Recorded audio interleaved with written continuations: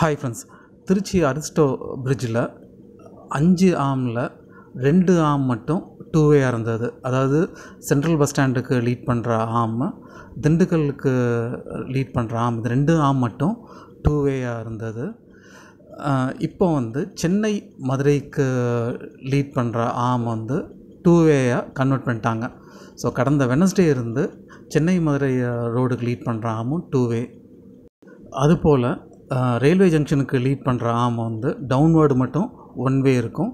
அதுபோல் மதுரைக்கு போகிற ஆம் வந்து அது அப்வர்ட் டிராஃபிக்கு ஒன் வே மட்டும் அலோவ் பண்ணுவாங்க.